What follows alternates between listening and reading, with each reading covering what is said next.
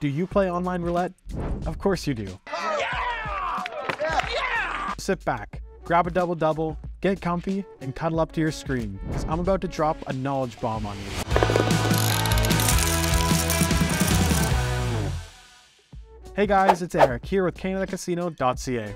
Today, we bring you the best three strategies for improving an online roulette. But before jumping straight into it, make sure to go ahead and subscribe to our channel. One of the most well-known and used roulette strategies is the martingale. The theory behind this is simple. After each loss, increase your wager.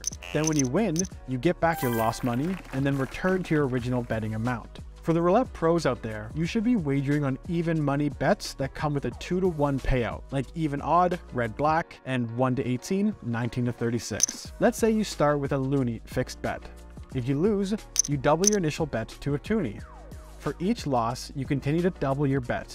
When you eventually win the wager, you go back to your initial loonie bet and start all over again. With this system, you will in theory be able to recover your lost wagers and get small winnings. But it has two issues.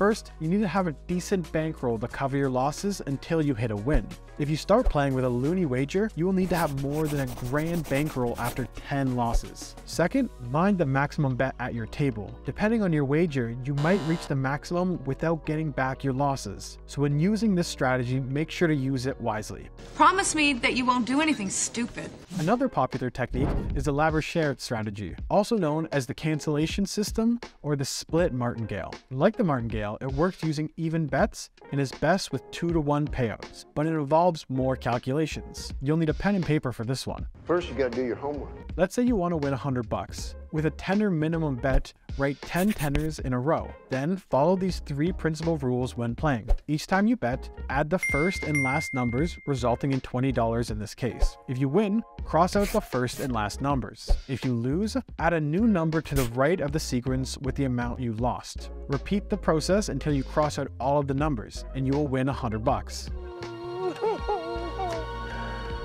Of course, not everything is perfect with this strategy, as it has the same limitations as the original martingale. Remember, if you have an unlucky run, you may need a huge bankroll to cover your losses and would have to depend on the maximum betting cap.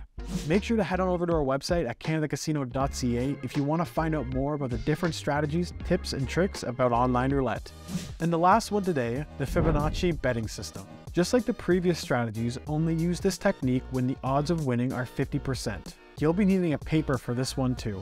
However, this time round, you'll need to write down the Fibonacci sequence starting from 1 till 34. You'll get these numbers by simply adding the sum of the previous two numbers. If it sounds complicated, don't worry. Here's how it goes. Each number works as a multiplier for your initial wager. So, if you start on a tenner bet and your sequence is 8, your bet will be 80 bucks. In a nutshell, this strategy instructs you to decide the amount of the bet and start with the lowest number in the sequence. If you win, move two positions to the left. If you lose, move one position to the right. Then repeat this process until you're out of the sequence from the left-hand side. Again, the same issue as before applies here as well.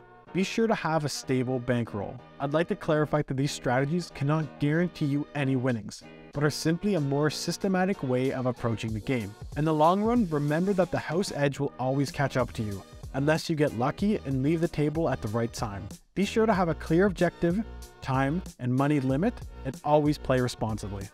So that was our take on the three best strategies to improve your online roulette game. Which one is your favorite? Let us know in the comments down below. Then leave a like and slam that big red subscribe button. This has been Erik. Good luck out there and happy spinning.